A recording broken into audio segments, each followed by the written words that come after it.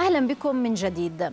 أعلنت مديرية الأمن العام الأردنية أن قوات الأمن استخدمت ألغاز المسيل للدموع لتفريق تظاهرة للتيار السلفي بعد تعرض ستة من رجال أمن للطعن في مدينة الزرقاء. وتظاهر أكثر من ألف شخص اليوم في عمان مطالبين بإصلاح النظام وإسقاط حكومة رئيس الوزراء معروف البخيت وحل البرلمان. كما خرجت تظاهرات شارك بها المئات في كل من الكرك ومعان في جنوب المملكة وإربد في شمال المملكة للمطالبة بالإصلاح.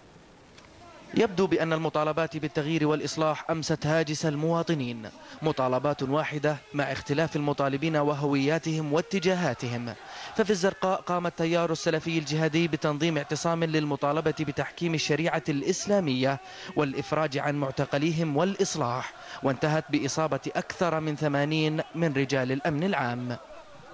أربعة من رجال الأمن العام في وضع حرج بسبب الطعن من هذا المنبر.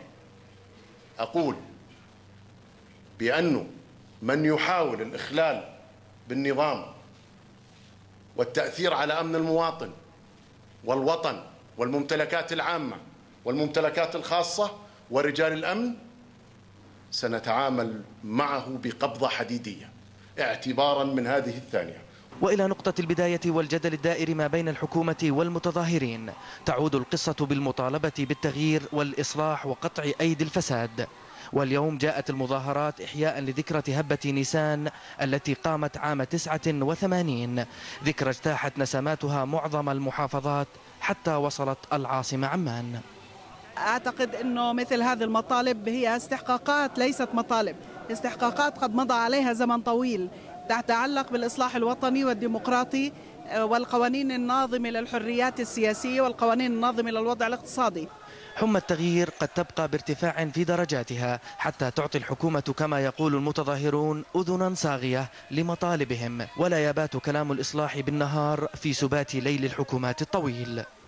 هبات نيسان جديدة قد تكون مفترق طرق ما بين أجواء السكون وعصفات الحراك الشعبي والحزبي. حراك لم يعد يرضى بإصلاحات عدها كما يقول بأنصاف الحلول.